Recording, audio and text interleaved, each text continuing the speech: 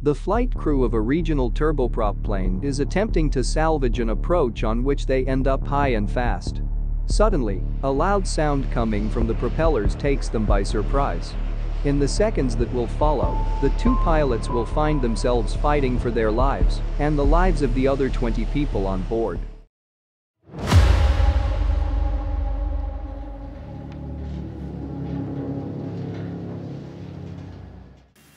A Fokker F-50 plane was flying at flight level 180, approximately 18,000 feet, over the skies of Germany.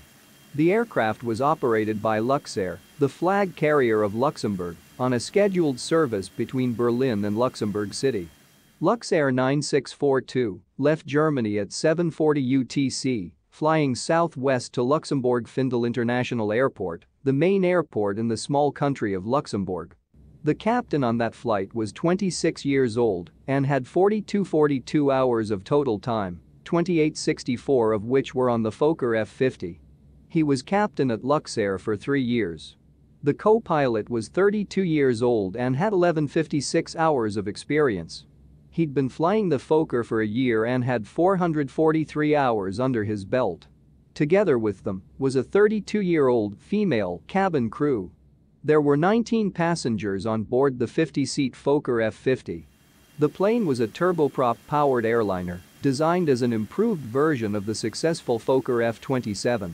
It was developed in the Netherlands during the early 1980s and incorporated new advances and several improvements over its predecessor, such as the adoption of Pratt & Whitney Canada PW127B turboprop engines and a higher degree of cockpit automation.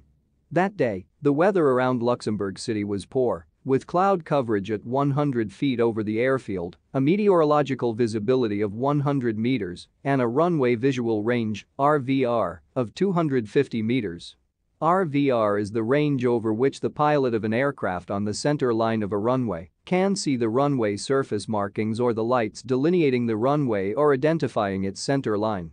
The RVR is specific to the runway and its actual lighting system, and it is usually higher than meteorological visibility, which only refers to the general range an object or light can be seen in the current conditions.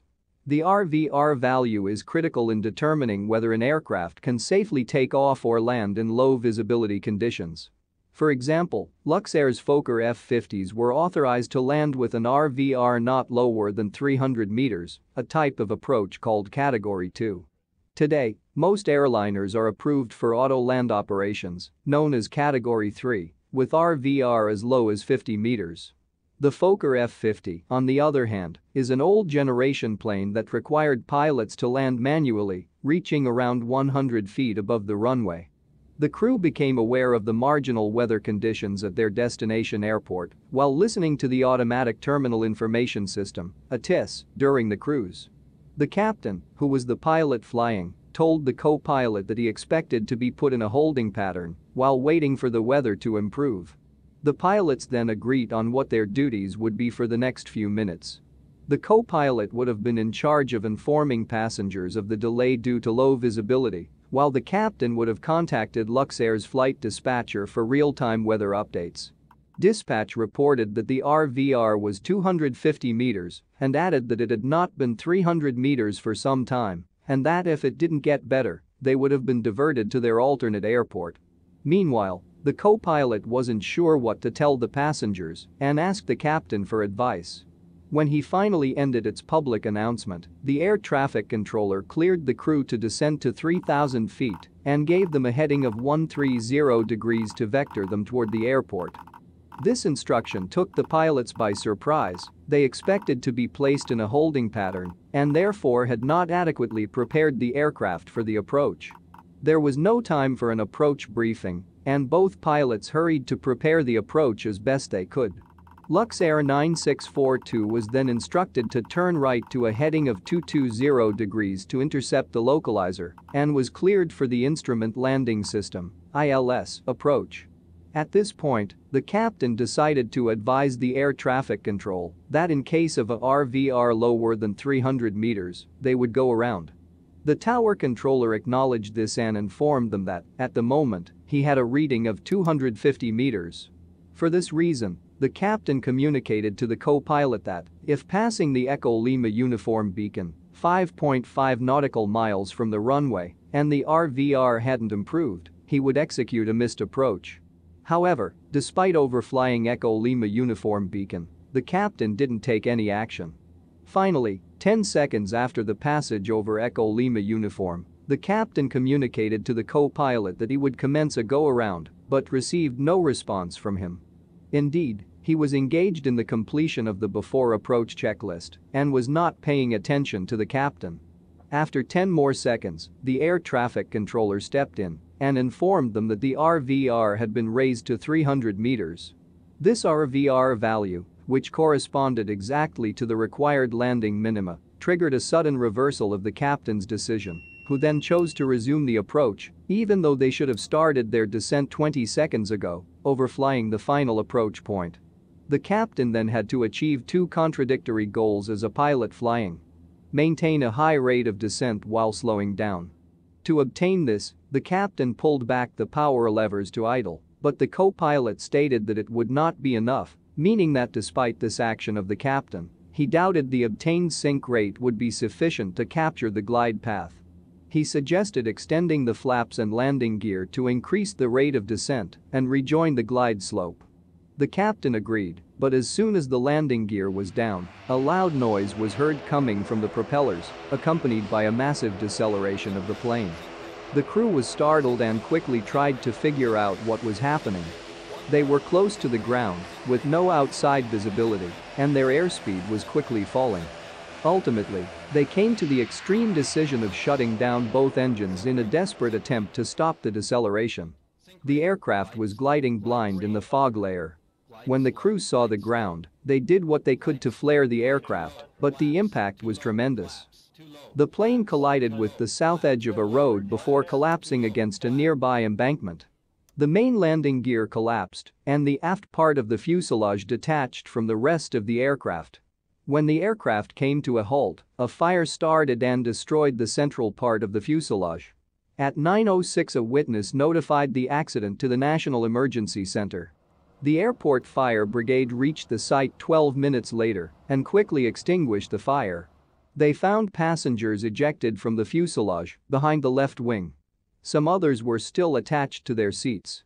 The cabin crew member was found lifeless in the corridor next to the fuselage front entrance.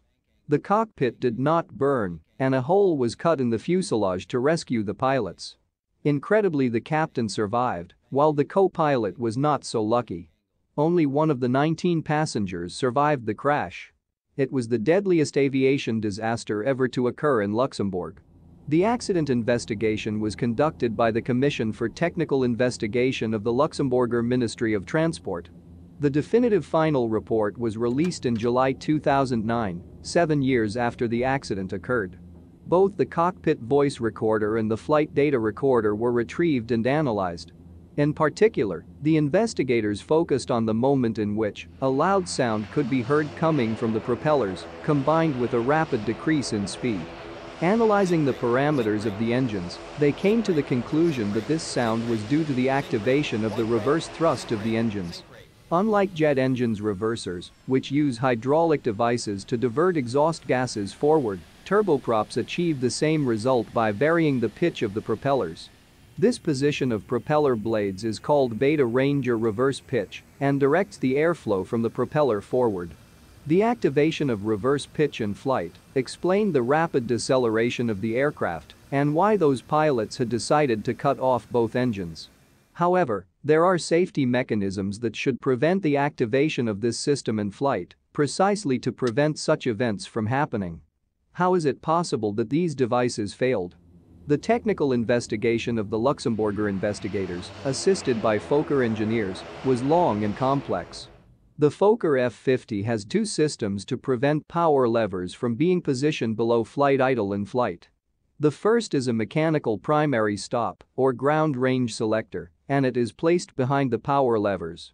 This primary stop requires a positive, distinct, and separate pilot action to be overcome. The secondary stop is provided by two electrical solenoids mounted on each engine, which allow the reverse pitch to be selected When one of the sensors mounted on the shock absorbers of the left and right main landing gear detects a compression, or when the two wheel speed sensors, each one mounted in the wheel axle on one main landing gear, detect a wheel speed in excess of 17 knots. The accident flight's crew correctly removed the primary stop, or ground range selector, as part of the before approach checklist to select reverse pitch when on the ground. But questions remain on why the pilot flying moved the power levers to the reverse pitch position and why the secondary stop did not prevent him from doing so. To answer the first question, investigators analyzed the behavior of the flight crew during the approach. Several standard operational procedures were not applied because of the sudden increase in workload brought by the execution of the direct approach, although the crew was set to enter a hold. Consequently, there was no approach preparation nor briefing, which might have improved the crew's performance. The above-mentioned events testify a lack of method and professionalism of the pilots in handling this unexpected situation that finally led to the unfortunate attempt at regaining the glide slope. It was not possible to prove whether the captain deliberately moved the power levers to the pitch reverse position or if it was an involuntary move. However, the flight manual clearly states, do not attempt to select ground idle in flight. In case of failure of the flight idle stop, this would lead to loss of control from which recovery may not be possible. The reason why the secondary stop did not work was explained by examining a safety report made in 1988 by a Fokker F-50 operator who discovered that the power lever movement below flight idle was possible in flight if some conditions were simultaneously met. Those were landing gear down, main gear unlocking must be such that the inboard and outboard anti-skid control channels are powered within approximately 20 milliseconds from each other, and the power levers must be below the flight idle position. If all of those criteria were met, the secondary lock was disabled for 16 seconds. Nevertheless, Fokker aircraft determined that no immediate action was required in view of the low probability of failure. Unfortunately, these three conditions occurred simultaneously on board Luxair's Flight 9642 and led to the tragic consequences we mentioned earlier. The Commission for Technical Investigation concluded that the initial cause of the accident was the crew's acceptance of the approach clearance, although they were not prepared for it, namely the absence of preparation for a go-around. It led the crew to perform a series of improvised actions that ended in the prohibited override of the primary stop on the power levers and caused an irreversible loss of control. A contributing cause was the low reliability of the secondary stop safety device installed on board Fokker F-50 models. Following the accident in 2003, an airworthiness directive was issued in order to improve the functioning of the secondary safety flight idle stop. Fokker services assured that the unintended energizing of the flight idle stop solenoids is adequately covered with these technical modifications. A criminal prosecution was launched against the captain for involuntary manslaughter and negligence. In 2012, he was sentenced to three and a half years of probation and a 4,000 euro fine. A memorial was erected at the crash site to remember the victims.